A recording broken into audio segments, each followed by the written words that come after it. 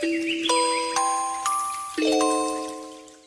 क्या आपकी भी हड्डियाँ कमज़ोर हैं? क्या आपके जोड़ों में भी दर्द रहता है? और क्या चलते फिरते, उठते, बैठते आपके जोड़ों से कट कट की आवाज़ें आती हैं? अगर ऐसा है तो फ़ौरन आपको इन तीन चीज़ों का इस्तेमाल ज़रूर करना चाहिए, ताकि आपकी इस तकलीफ़ से जान छूट जाए। अमूमन ये देखा गया है कि जिन अफराद को जोड़ों की तकलीफ़ हो और हड्डियाँ कमज़ोर हों तो ऐसे अफराद को चलते फिरते या उठते बैठते हड्डियों से कट कट की आवाज़ें आती हैं, और जोड़ों में दर्द भी रहता है। हड्डियों से इस तरह की आवाज़ें आना इस बात की निशान निशानदेही करती है कि आपके जोड़ कमज़ोर हो रहे हैं और हड्डियाँ भी कमज़ोर हो रही हैं। लेकिन अगर आपकी उम्र इतनी ज़्यादा नहीं है और जिसम में कैल्शियम की कमी भी नहीं है तो फिर आपको परेशान होने की ज़रूरत बिल्कुल भी नहीं है। क्योंकि हड्डियों से कट कट की आवाज़ आने की एक वजह जोड़ों में हवा के बबल्स का बन जाना भी होता है, जहाँ दो जोड़ आपस में मिलते हैं। अक्सर इन जॉइंट्स में हवा भर जाती है और अमूमन चलते फिरते या उठते बैठते एक कड़ाके की सी आवाज़ आती है। लेकिन अगर आपके जिसम में कैल्शियम की कमी है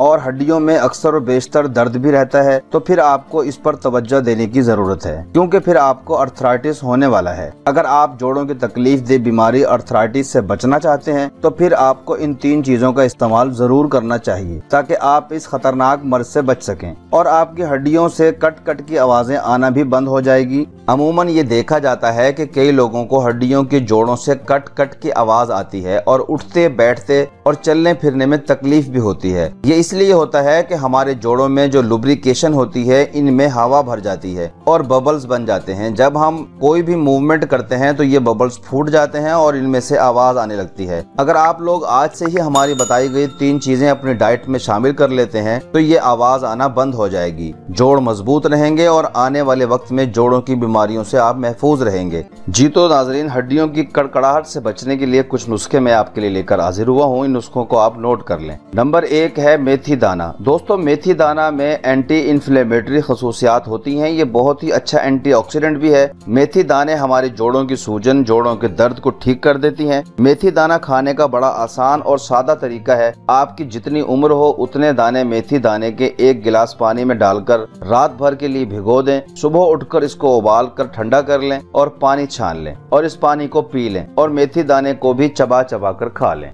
दोस्तों, मेथी दाने चबाने से थोड़ा जायका बुरा लगेगा, लेकिन कुछ दिनों में आपको आदत हो जाएगी। एक बात का खास ख्याल रखें कि मेथी दाना गर्म मिजाज रखता है। लिहाजा गर्म मिजाज वाले और हामिला औरतें इस्तेमाल करने से पहले अपने मुआलिज से मशवरा ज़रूर कर लें। दूसरी चीज़ है दूध। दोस्तों, दूध एक बहुत ही शानदार गजाइत से भरपूर चीज़ है। हमारे जोड़ों में लुब्रिकेशन कम न हो, इसलिए हमें दूध का इस्तेमाल ज़रूर करना चाहिए। दूध से हमारी हड्डियों को भरपूर कैल्शियम भी मिलेगा और हमारे जोड़ों में लुब्रिकेशन भी बढ़ेगा। दोस्तों, हल्दी हमारे लिए बहुत ही बेहतरीन दवा भी है और गजा भी। जिस तरह चोट लगने पर और दर्दों को दूर करने के लिए हम हल्दी वाला दूध इस्तेमाल करते हैं, इसी तरह हड्डियों की कड़कड़ाहट को दूर करने के लिए भी हमें हल्दी वाला दूध इस्तेमाल करना चाहिए। रात को सोने से पहले अगर आधी चम्मच हल्दी नीम गर्म दूध के साथ रोज़ाना पीना शुरू कर दें तो चंद दिनों के इस्तेमाल के बाद ही आपकी जोड़ों से और हड्डियों से आवाज़ें आना बंद हो जाएँगी। तीसरी चीज़ है भुने हुए चने और गुड़। दोस्तों, भुने हुए चने और गुड़ दोनों कम्बिनेशन इंतहाई ताकतवर होता है। ये फौजियों को और घोड़ों को खिलाने वाली खुराक है, क्योंकि इसके खाने से हमें carbohydrate protein fibre calcium iron और वाइटामिन की जो कमी होती है, वो इस कंप्लीट गजा से पूरी हो जाती है।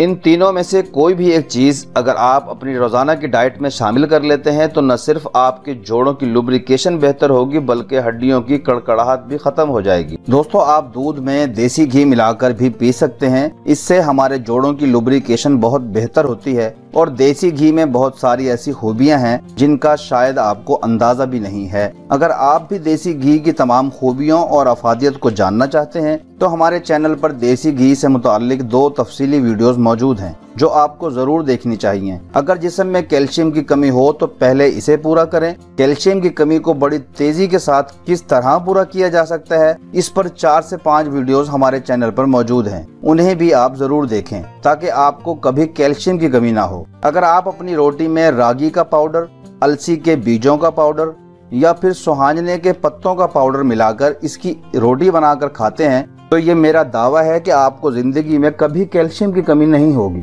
अगर आप सिर्फ़ सुहाजने के पत्तों का पाउडर ही इस्तेमाल करते रहें तो फिर आपको किसी भी चीज़ के इस्तेमाल की ज़रूरत नहीं होगी। सुहाजने के पत्तों में जितना कैल्शियम है, इतना कैल्शियम दुनिया में किसी भी गजा में मौजूद नहीं है।